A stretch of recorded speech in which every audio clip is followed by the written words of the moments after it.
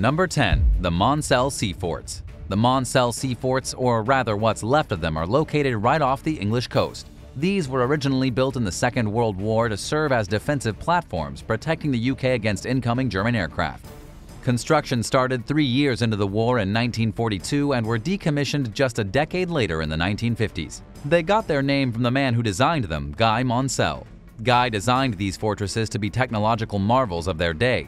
Each superstructure once consisted of a pair of hollow towers connected to a huge pontoon base. Each of the hollow towers was divided into several different floors, consisting of things like storage rooms, munitions depots, and crew quarters.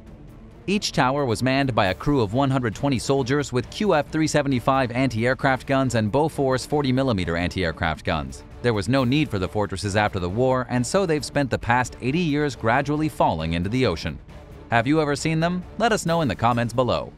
Number 9. Pristine Corals Off the coast of Tahiti, scientists have made a shocking discovery in the ocean. They found acres and acres of pristine corals blossoming all across the floor of the ocean in what is known as the Twilight Zone. The coral reef down here is so large and beautiful that it's a wonder scientists never found it before. But what's really amazing is that it appears to be in impeccable condition. At a time when the majority of the world's coral reefs are being bleached by increasing ocean temperatures, this is a huge breath of fresh air. Alexis Rosenfeld, the man who led the international team of divers down to the reef, compared it to a work of art. The coral here stretches on far into the dimness. In total, scientists were able to measure the reef at over 2 miles long, existing at a depth of 230 feet.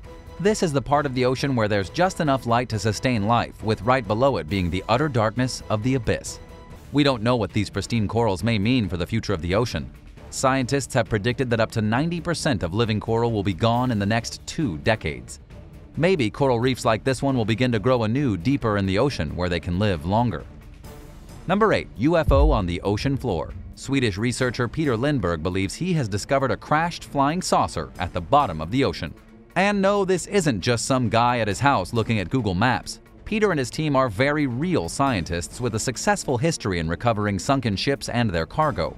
They were actually using sonar to look for the wreck of a ship over 100 years old that went down carrying rare bottles of champagne when they found the mysterious object. Oddly enough, it looks like the Millennium Falcon sitting 300 feet deep on the bottom of the ocean between Finland and Sweden.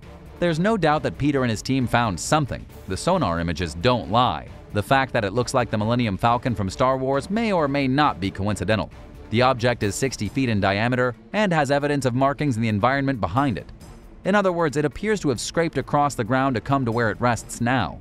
This suggested it crashed, perhaps millions of years ago when there was no water here. Sadly, Peter doesn't have the cash or the resources to dive 300 feet to the bottom of the ocean and confirm his theory. And it hasn't helped that mainstream scientists have come forward to dismiss his discovery as nothing but a piece of rock. What do you think the mysterious object on the ocean floor is? Is it a spaceship or a cluster of rocks that looks like a spaceship? Let us know your thoughts in the comments down below and don't forget to hit subscribe before the end of the video.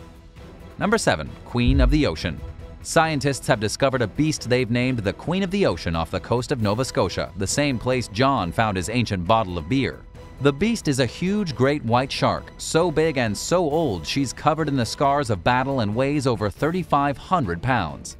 Scientists with the nonprofit organization OCEARCH say she's at least 50 years old. She's also 17 feet long, a true monster even in the world of sharks.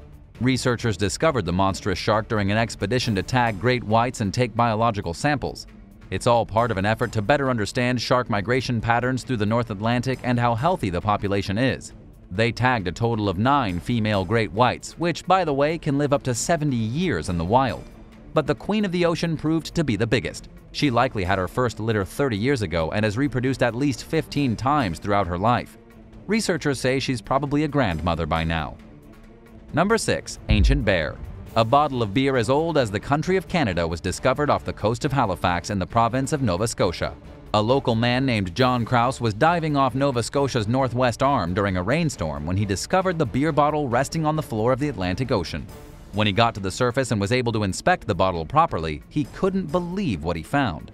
To give a bit of background, the Alexander Keith's Beer Company imported bottles of their brew from England to Canada between 1872 and 1890. But the preserved cork still in the bottle shows this specimen came from even earlier in 1820. That means it was probably made at one of the oldest commercial breweries ever built in North America, at a time when many goods were still coming from England. It's over 200 years old and still has bubbly beer inside it. Number 5. Deep Sea Whale Marine scientists have identified a totally new species of beaked whale. They named the creature the Ramari's beaked whale after a famous Maori whale expert. The animal lives over 6,000 feet beneath the surface of the ocean, so you can probably understand why it wasn't until recently that it was documented and identified. But because of its size, it's still one of the most visible inhabitants of the deep ocean. The Ramari's beaked whale is distributed all throughout the world. They measure over 17 feet long and they can weigh over a ton. This means they're about the same length as that huge shark we talked about earlier, except not quite as heavy. Research shows that this species of whale evolved over the last 500,000 years.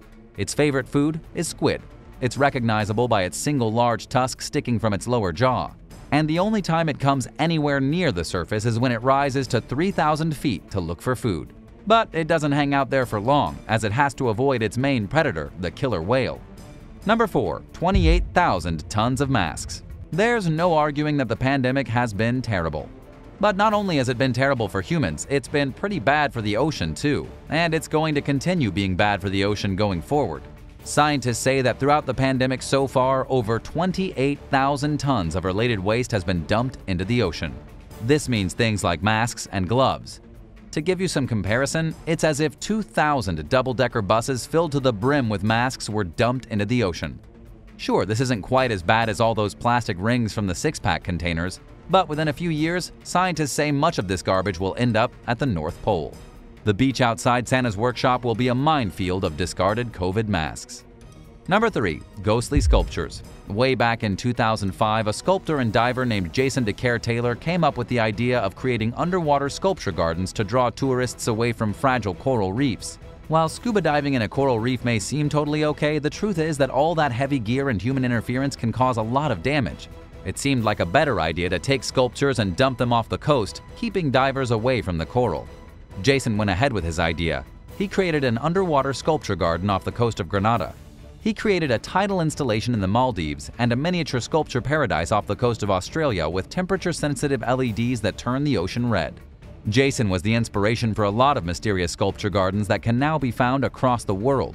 Off the coast of Tuscany, a non-profit organization even put down 39 ghostly sculptures to attract divers and to prevent bottom trawling.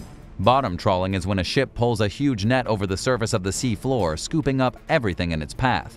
It completely wipes out fish habitats. But with all these weird sculptures sitting at the bottom of the ocean, they can't do it anymore or their nets will be torn to shreds. Now if you ever see a picture of one of these famous underwater sculpture gardens, know it's not just for looks. It's also for the preservation of underwater ecosystems. Number 2. Giant Icefish Breeding Colony In Antarctica, scientists have identified the largest breeding colony of fish anywhere in the ocean. It's shocking, literally shocking. In the Weddell Sea, over a thousand feet beneath the surface of the ocean, there are more than 60 million active nests of icefish that were just found. These nests are across an area of 92 square miles. There are so many nests here that the very moment the remotely operated camera reached the bottom, researchers with the Alfred Wegener Institute saw them. They couldn't move the camera more than a few inches without coming across another nest, looking like a sandy crater on the sea floor. Many nests are less than a foot apart, with a single icefish at each one guarding its clutch of eggs, looking like an underwater bat. Perhaps even more fascinating than the millions and millions of icefish nests is the icefish itself. It's a creature that has evolved to live only in freezing waters. They have huge hearts and clear blood, lacking any red blood cells or hemoglobin. There's no way for them to transfer oxygen throughout their body, and so they simply absorb oxygen from the water through their skin. Number 1. Giant Ammonites Researchers have just identified an ocean monster that went extinct 66 million years ago along with the dinosaurs. It was discovered thanks to a group of researchers who looked at 154 fossils gathered all the way from England to Mexico. They were able to identify the fossils as all belonging to a single species of giant ammonite.